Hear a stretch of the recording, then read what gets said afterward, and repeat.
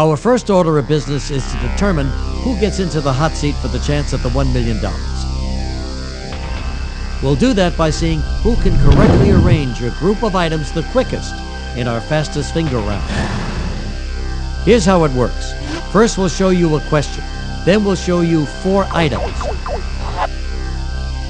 To arrange them in the correct order, press the corresponding symbols on your game controller. If you change your mind, press the L1 button to erase the previous entry. Once you're satisfied with your answer, press the R1 button to lock it in.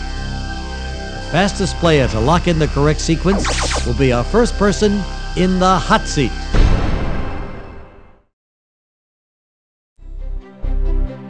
Okay, here's how it works.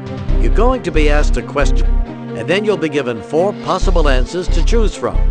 Press the symbol of your selection on the game controller to lock in your answer. If you're correct, you'll win the dollar value of that question and advance to the next level. You have three lifelines to help you along the way. You can use these at any time by hitting your R1 button. If you choose the 50-50 lifeline, the computer will eliminate two of your choices, leaving the correct answer and one incorrect answer.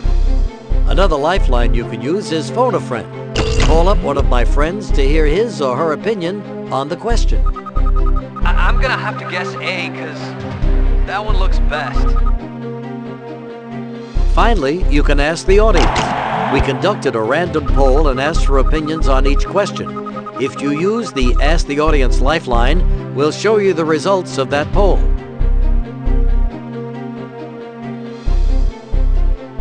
If you have used all three of your lifelines and are unsure of the answer, you can choose to stop and walk away.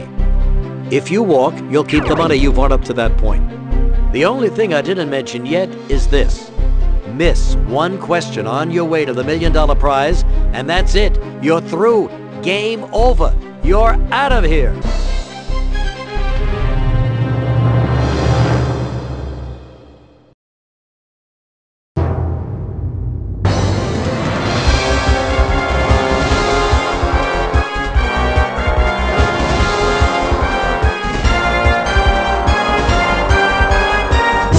Who wants to be a millionaire?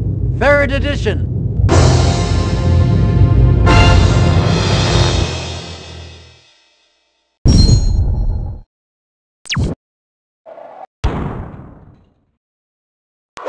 Who wants to be a millionaire? Third edition.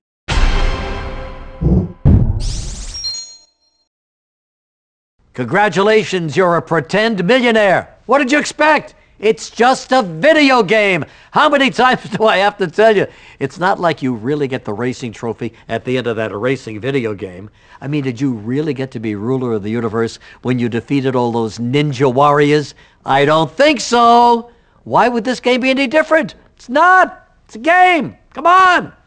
Until next time.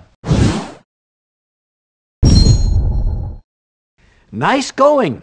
15 questions in a row without even breaking a sweat. I'm really impressed. Why, I almost feel bad we don't have any real money to give you. Think of it this way. At least my congratulations are tax-free. See you next time. Hey, great job! 15 questions in a row on a wide range of topics. You should be very proud. I'm proud of you. Of course, that check you just saw, fake. You know that, don't you? Don't bother printing it out. The bank's not going to take it. In fact, they might try to lock you up. But you've been warned. Remember, be good. Hey, you're a millionaire. Just don't forget that money isn't everything. In fact, in this game, it isn't anything. That check you just saw, you know, for a virtual million dollars, just our polite way of saying it's worth nothing. Nothing. See you next time. Well, now you're a millionaire. Time for all those distant relatives and old friends to call you up and ask for a handout. And they will. Lucky for you, there isn't any real cash here. Yeah, so they're not going to get a thing. Nothing. A lot easier being rich when it's all virtual money, isn't it? But still you wish? Ah, forget about it. I'll see you later.